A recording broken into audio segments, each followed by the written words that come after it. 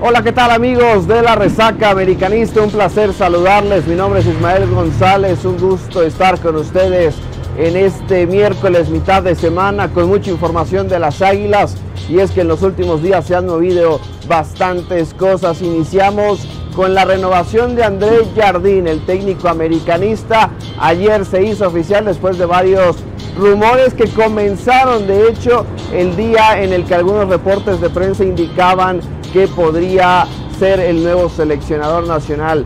La renovación se hizo en los últimos días y con esto el entrenador brasileño estará con la institución, o al menos así su contrato lo dice, hasta junio de 2027. Ayer informaba Fabricio Romano, un periodista sumamente eh, reconocido a nivel mundial, que evidentemente en este contrato hay una cláusula para eh, tema de selección nacional o para el tema de clubes extranjeros. Esto quiere decir que si alguna propuesta de Europa o alguna selección nacional quiere los servicios de André Jardín, hay una cláusula de recesión en su contrato, pero por ahora se busca y la intención de la directiva está en que André Jardín cumpla su proceso y estos años de contrato que ahora ha renovado y con esto evidentemente pues que siga la racha ganadora de este entrenador con las Águilas del la América, que en apenas un año ha conseguido cuatro títulos con el último que consiguieron el fin de semana pasado en los Estados Unidos al vencer 2 por 1 al conjunto de Tigres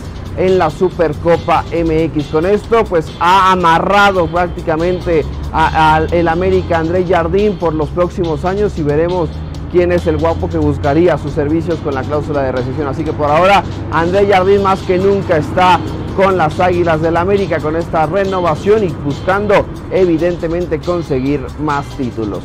Hablemos ahora de los fichajes o al menos de las posibles altas o bajas que podría tener este plantel del América. Y es que como lo habíamos comentado la semana pasada el tema de Rodrigo Aguirre que fue un ofrecimiento que hizo el entorno del jugador y también eh, por parte de Rayados hacia el América para ver si buscaban o si veían bien hacerse de los servicios de este delantero Rodrigo Aguirre. Por ahora la negociación está en frío, está totalmente pausada, no hay nada, está lejos por ahora de llegar a las Águilas. Por ahí veía que dividía comentarios y que eh, en la mayoría no gustaba esta idea de que pudiera llegar a las Águilas como un suplente de Henry Martin. Recordemos que la América busca reforzar posiciones a la ofensiva, busca hacer más grande este plantel, ya lo decía André Jardín en la previa ante Tigres de la Supercopa que buscarán hacer un plantel igual o mejor que el del año, pasado que consiguió la número 15, la Copa número 15, así que ahí está la promesa del entrenador, seguirán buscando eh, jugadores, pero por ahora el tema específico de Rodrigo Aguirre está lejos de llegar a las Águilas. Por ahí César Caballero, periodista de ESPN, reportaba el día de ayer que el Corinthians de Brasil buscaba a Brian Rodríguez. Recordemos que este futbolista uruguayo ha sido pretendido en el último año por varios equipos, incluso estuvo muy cerca de irse a la Serie A con la Fiorentina. Ahora es el Corinthians, ya habíamos también hablado de una propuesta del Botafogo, también de hacer de los servicios de Brian Rodríguez. El entorno del jugador busca una salida. Sabemos que es un futbolista importante, que ha tenido momentos importantes con el equipo y veremos si al final se puede concretar alguna oferta formal de algún club que quiera los servicios del uruguayo. Por ahora, eh, según la información de César Caballero, el América ha estipulado el precio del futbolista en 6 millones de dólares, así que veremos si alguno de estos clubes pone en la mesa esos 6 millones de dólares para hacerse de los servicios del jugador. Por ahora nada está hecho y veremos si en estos en estas semanas que le restan al mercado de transferencias se puede concretar alguna salida, entre ellas pues por ahora la que más ha sonado en, en, temas de acercamientos es quizá el tema de Brian Rodríguez.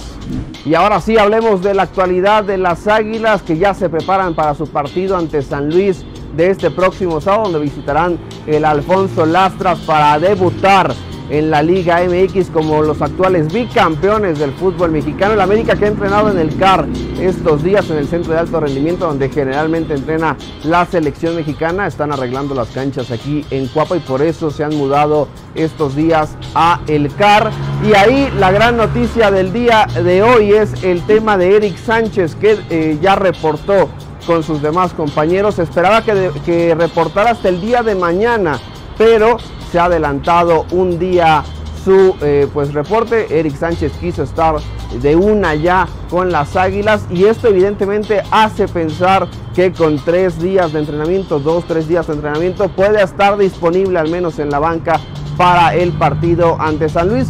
Ya esta será una decisión totalmente de la directiva encabezada por André Jardín del cuerpo técnico, eh, quiero decir, que podrá ponerlo o no dependiendo de cómo lo vean, dependiendo de cómo se comporte en estos días de entrenamiento, pero es una gran noticia y es un gran gesto por parte del futbolista del América que recién llegado de la Copa América apenas prácticamente desempacó y ya reportó con las Águilas del América el flamante refuerzo de las Águilas. En otras de las noticias, el América estará entrenando estos días de cara al partido ante San Luis. El, viaje se pretende para el día viernes para llegar a eh, San Luis Potosí y ahí estar concentrados para el día sábado enfrentar al conjunto dirigido por Domenech Torrent. Así que así será el debut de las Águilas del América en esta Liga MX. Y por último, en el tema del América Femenil, se mantienen entrenando en Querétaro de cara también al inicio del campeonato mexicano, donde buscarán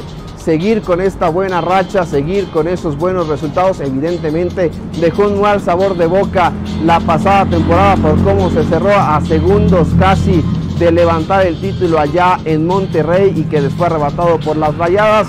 El América sigue entrenando en esta mini pretemporada en Querétaro. Se preparan para su primer juego ante Cruz Azul. Evidentemente se siguen esperando algunos refuerzos importantes que puedan reforzar aún más esta plantilla porque sabemos que al menos en el último mercado de transferencias sí sufrieron varias bajas, más las de este mercado de transferencias con la salida de Katy Martínez, de Aureli Casí, de Andrea Pereira, de Dayana Martín, así que son futbolistas que evidentemente se buscará reemplazar eh, con buenos refuerzos. La directiva sigue trabajando en ellos. Veremos si en las próximas semanas se pueden hacer oficiales algunos eh, movimientos por parte del América Femenil de cara a este próximo torneo. Así que ahí está la información, amigos de la Resaca Americanista. Un gran placer estar con ustedes. Síganme en las redes sociales. Estamos como arroba Ismagón MX en Twitter y arroba Isma González MX en Instagram. Sigan la información de la Resaca Americanista y nosotros nos escuchamos en la próxima.